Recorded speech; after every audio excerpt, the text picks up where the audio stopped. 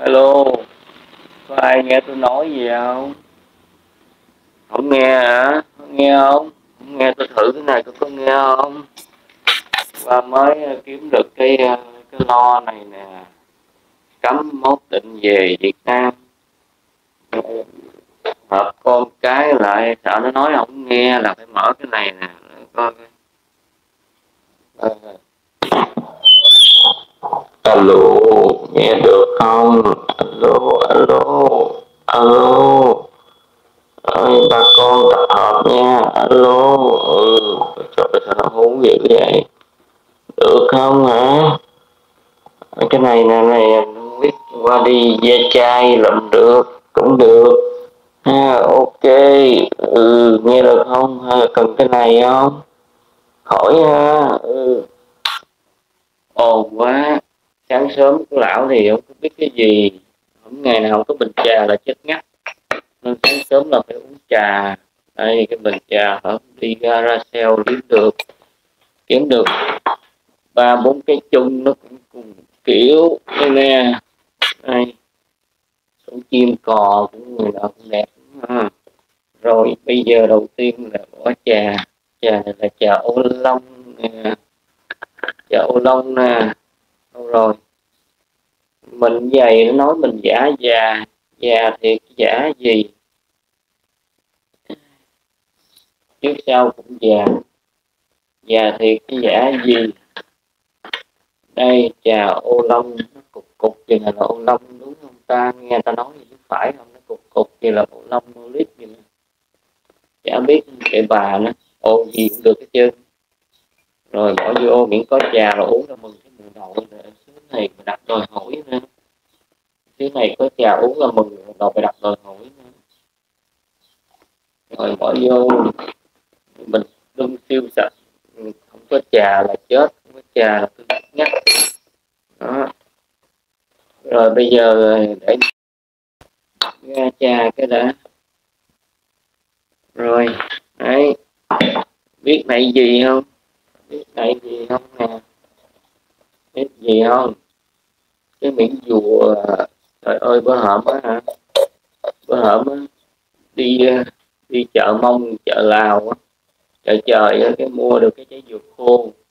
Mừng muốn té xỉu luôn, mừng muốn dấp té luôn, bởi vì sao vậy? Quê hương gặp lại người ơi. Đây, cái về cái tôi nạo ra, tôi làm xôi bữa hổm một bữa cái dư được cái miếng chùa cái giữ lại làm kỷ niệm nhiều khi thèm đó, đó. Ngửi cái mùi cái dừa không thể nhớ tới Việt Nam rồi. Sướng lắm. Nó nên giữ đây làm kỷ niệm nhìn nó là như mình thấy quê hương. Người ơi cái dừa ngày xưa ở đó đâu có đâu có đâu có ngó ngàng gì tới em nó đâu. Bây giờ trời ơi nhìn cưng ghê không? À, cái rảnh rảnh biết làm gì không? Rảnh với bạn em có con dao, bộ dao đây nè. Mua được cái bộ dao nè, dao với hết này là đó rảnh rảnh cái lấy cái này ra nè. Lấy cái này ra biết làm gì không? Cái gọ. Gọ. Gọ. Gọ. Này này. Này, đó, nó bén cái gọt nó bén nó này này, gọ. Cái làm gì nữa, thấy không? Cái anh rảnh cái mình làm, cái mình làm ra mấy cái con này nè. Mấy cái con này nè. Đó mình cũng cắt cắt cắt ra mấy con này nè. Đó mình ngồi mình, mình cũng cắt cắt vậy nè. Đó mình kiếm đồ của mình cắt vậy nè. Đó mình tạo ra mấy cái con này chơi cũng vui lắm á đây nè. Mình tạo mấy con này nè con này bằng gỗ thôi. Mình về mình kiếm gỗ mình ngồi cắt cắt ra hôm nay làm được mấy con. Một thằng nữa được thêm thằng này nữa nè tự cắt cắt cắt ra được thằng nữa là về già đây là không biết làm gì chứ ngồi sinh năm nổi vậy thôi ngồi cắt cắt cắt cho nó đỡ buồn thôi rồi đây đây đi trưng bày đó chút xíu đây đó đây ơi trời ơi dạ quá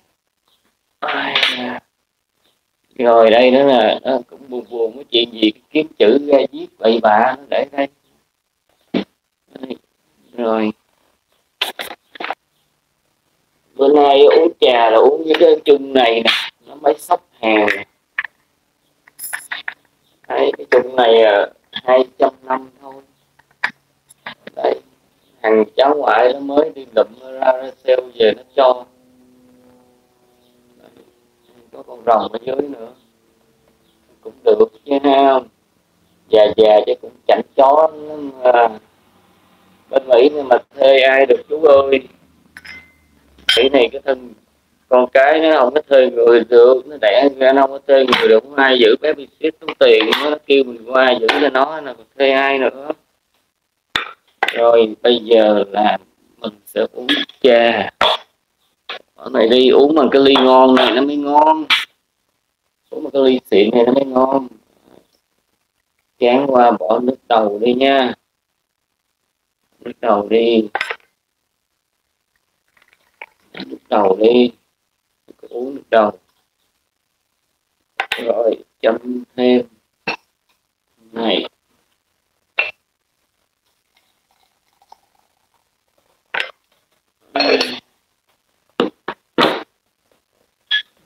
Làm ly trà xong rồi hồi nó ra chọn cái giường nay trồng cây. Hôm qua nó trồng được mớ bạc hà, nấu được nồi canh. Cái trà này chào ông long, thành ơi chào ông long. Rồi, kể chuyện vui cho nghe nè. Dạ đây nó khổ lắm, thèm thông tin, nó đọc lắm mà sáng sớm đây nè. Mỹ này nó rảnh bà cố luôn á. Cái này em báo tới, nó rải tận nhà cái này chắc thủ phạm cũng có thằng Ben đây trong ai chứ. Nó đem nó cho báo đóng, mà mình nhìn nó nó nhìn mình biết sao không?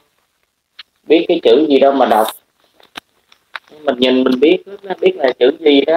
Chữ mỹ nó mà đọc không có hiểu cái gì đó cho đóng báo đọc được cái quỷ quái gì đâu. Mà chỉ có toàn là gì? Toàn là ba cái đồ ăn nó quảng cáo không à, fast food được không à? Đó, toàn đồ ăn không à. Nhìn cũng thèm. Mắm tôm, cà pháo, mắm ruốc, xào thịt, đâu có thấy đâu. Cứ thèm lắm có ăn được cái gì chứ không đọc được cái này. Dục bố đi làm chật chỗ nhà ông quá, dục. Dục đi, người ơi. Tao muốn kiếm tờ báo tuổi trẻ, báo công an, tao đọc. Có ai chịu đọc cho mình nghe chứ? Mấy ông Việt Nam có báo đọc đi, mấy người già để ta nghe ai trời ơi. Hôm qua đó đi mua được cái này. Để khoe coi hôm qua lượm được cái này cũng được lắm nè. Già chứ mà suốt ngày cứ đi săn đồ độc chứ có cái đồ da chai người ta không. Hai mươi mốt về đó là đãi ăn là đãi bằng cái này là ôi ôi, ôi nặng quá. Ôi đây một bộ đồ gỗ. Ai nha bằng rổ trăm phần trăm nó có tám cái bình bát. Sau này về cái là tôi tập hợp mấy thằng già lại ở chung chỗ có đất mà. À, bằng gỗ hết cái cái cái cái là cái này chẳng qua là cái sự cải tiến của cái miếng dùa này thôi. Đó ngày xưa dưới quê là lấy cái miếng dùa để ăn cơm. Cho nên già cả rồi sau này sợ cầm mấy cái ly cái chén nó bể con cháu nó chửi cho nên là mua được tám cái bình bát này nè, bằng gỗ nè. Mai mốt là về là lấy đũa dừa ăn với cái này rớt cái rớt vậy nó cũng không bể. Nó rớt vô tư, nó không bể. Nó một cái nè, hai cái nè, ba cái nè, bốn cái nè. Trời ơi, bây giờ làm xiết luôn bốn cái nè, năm cái nè, sáu cái nè, bảy cái ờ, tám cái là đó bằng tiền tám cái là được rồi. Rất vô tư. Và cả tay chân lượng thượng. Rất vô tư thấy không? Không có bể hao hồ ăn đó. Cái 12 giờ trưa, cái đầu cái mình phát cho mỗi ông như này đó. ăn đi giống như thời xưa ông Phật. cái đồ ăn lớn nhưng mà đựng trên cái thau vậy nè đó cái này nè này là nó đúc nguyên khối bằng gỗ nó làm mà khéo ghê đó được chưa? Đó. thấy không? Đó, ok chưa? Nên tối ngày cứ đi sưu tầm các cái đồ da chai bị chúng nó chửi hoài tôi hỏi mọi người ở đây buồn thấy bộ nội không có gì làm hết trơn. Báo cũng có đọc không có gì để chơi hết trơn á giờ cho tôi chơi này đi chứ không chơi thì chết à. Ừ, mà nhiều khi chơi đầm bậy đầm bạ cũng tai hại lắm mà nó à, đã quá nó thơm quá. Trời ơi làm chung nữa coi rồi đi vô đi quét nhà đi rửa chén đi trồng cây. Cho nên mấy đứa nhỏ nó vậy nó chửi mấy ba vô dụng qua đây nhờ có tí không làm được gì chứ.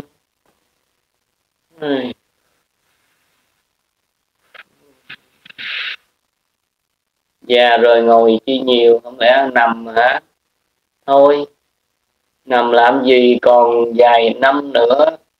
Thì nằm luôn thể, còn giấc ngủ ngàn thu tha hồ nằm nằm muôn đời. Giờ ngồi được, ngồi đi nhá ai đó, niềm tin của tôi là vậy thôi đó. Già rồi về Việt Nam cưới vợ bé thôi, má ơi. Đây nè, đi còn không muốn nổi nên nè, trời ơi, nó đau, nó nhức đây nè, mà cưới cái gì cho nó hành hả? Ê kia suối gì, suối dại vừa vừa đó nha. Chơi gì kỳ vậy, suối dại nha. Đúng rồi, bên đây nằm phơi củ cải không mấy tháng, mùa đông nó teo hết rồi. Trời ơi. Thôi, tôi có mấy bạn già kìa đó cũng ham về Việt Nam. Cưới con nhỏ đáng kêu bằng ông ngoại. Má ơi, qua đây nó chửi nó chửi trên đầu, chửi xuống nó hổn, thấy mụ nội tôi giả mấy cái ghê mà biết anh anh em em, anh bà nội, anh cái gì không biết nữa, mà mấy già nó cũng mất nết thì trẻ rồi người ta đọc kinh đọc kệ đi cho nó lành. Người ta uống trà đi cho nó lành người ta sưu tầm lục cổ đi cho nó lành. Người ta viết thư pháp đi người ta tiêu khắc gỗ đi. Đây nè đó ta nghiên cứu thập chú đi sau này á, còn biết trước khi chết này còn niệm được bài là nam mô a di đà và dạ đa tha già đa dạ đa địa dạ tha a ri di đô bà tỳ a ri đa tức đa bà tỳ a ri di đa tỳ ca lan đế a ri di đa tỳ ca lan đa già di nị già già na chỉ đa ca lợi ta bà ha mô phật đó. người ta đọc kinh đọc chú đi cho nó lành kiếm mấy con nhỏ chi về cho nó đè đầu gửi cổ đáng ông đang tuổi con thì cháu mà nó chửi, trời ơi! Cứ kêu cái thằng già kia mày ngồi đó, ì ra mày xuống mày nấu cơm cho bà hay không? Mày xuống mày thay tả cho con hay không? Cái thằng già mất nết kia, giờ này cũng chà nó mày đâu được như tôi đâu. Bây giờ tôi ngồi tôi vô tư, tôi nhâm nhi, tôi nói chuyện, nói dốc vậy. Đó. Đó, anh nói đúng đấy về vui thú điền duyên nó sướng hơn, tự nhiên ôm vô cục nợ. Ta nói rằng ông có hai lần sướng nhất trong cuộc đời. Thứ nhất là được cưới vợ, mà cưới lúc còn trẻ nha, đừng cưới tuổi già nha. Thứ hai là vợ nó chết, đi chôn nó, bởi vì biết đó là vợ của mình. Còn nếu mình nằm xuống thì trước nó thì thì vợ mình nó bị thằng khác nó sai, con mình nó sai dép mình nó sửa lại nó mang quần mình nó làm cái đùi vẽ nó lau nhà. Trời ơi cái khăn này nè cái khăn này nè nó đem nó đi gì nó lau nước đáy chó nữa. Cho nên nó ham hố làm gì? Đó, lấy vợ trẻ đi rồi mỗi ngày nó cho ăn chút thạch tính dăm ba năm tôi lên đường còn không thì mỗi ngày nó bắt trả bài còng thương sống lên trả cao lắm chừng vài tháng rồi cũng theo ông bà ông giải. Lúc đó đó đi mua vai ra để uống uống đi uống xong đi rồi liệt luôn. Nghe chưa? Ờ, ừ ông đó thuộc dạng là sư phụ rồi tôi không thể nào chịu nổi đâu. Bây giờ củ cải teo hết rồi đừng túi dạy mấy em ơi. Thôi cho tôi lành mỗi ngày uống trà nó dốc về là mừng rồi.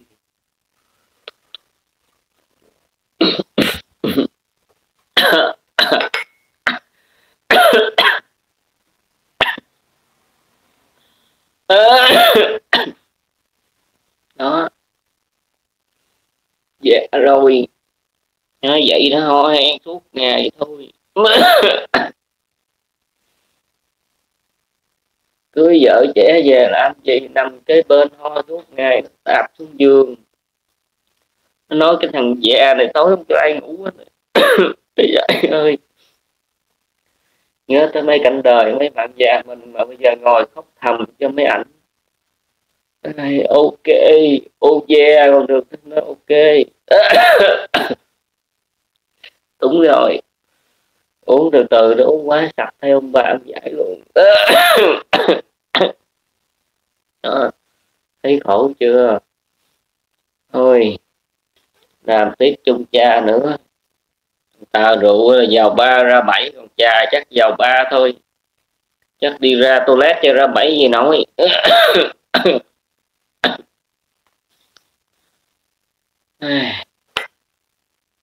Công nhận uống trà cũng buồn. Không có bằng trà nào nó dốc hết.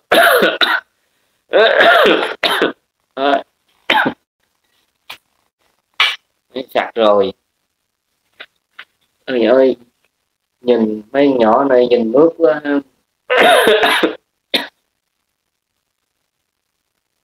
người mẫu thôi, để thờ thôi làm ăn được đâu. Ơi vô. Ơi con chung nữa rồi vô, rửa chén, quét nhà. Dọn bàn thờ à, yeah rồi cưới vợ để vợ nó lo hả? Nó lo hay mình lo cho nó? Nó lo mình lo cho nó hả? À, nó tới đây mới đầu khóc tôi có một bạn già nè cưới vợ trẻ về. Suốt ngày chửi như con. Suốt ngày đi làm quần quật. Ai ai nó nói rằng đấy mà mẹ nó không có ngu nào như ngu nào hết trơn. Trước nghe lời ông đừng ham hố. Lấy chi cho nó khỏe. Thà để chọc chọc cho nó vui. Để nó còn uh, nuôi hy vọng. Giờ lấy về rồi. Ôi trời ơi. Khổ lắm. Chửi coi như là cha nó ăn cơm toàn trang nước mắt không à. Ok rồi ok. Rồi vô miếng đi rồi đi nghỉ xuống mai nhớ ủng hộ là ông nữa em cho lão già lại còn có chuyện để nói cho buồn quá. Rồi à hai trăm năm, mấy em mấy cháu đừng thấy đồ quý vậy mà vô chôm của ông nha. Tội nghiệp, ông có một chút niềm vui nhỏ xíu à các con ơi, đừng có chôm nha, nhất là thằng bên nha. Cần thì ông cho nha nữa chết cũng để tụi bay thôi chứ giữ làm gì cho tao hưởng một chút tuổi già. Ê, tụi nó ngu lắm. Đừng tưởng già này không có của đầy của tại vì tụi nó không chịu khai thác thôi. Nên đứa nào cũng khôn đi chăm lo mình về già mình sẽ cho hết. Tụi mày âm mưu làm gì? Âm mưu bằng tao đâu. À. ok thôi xin chào nha.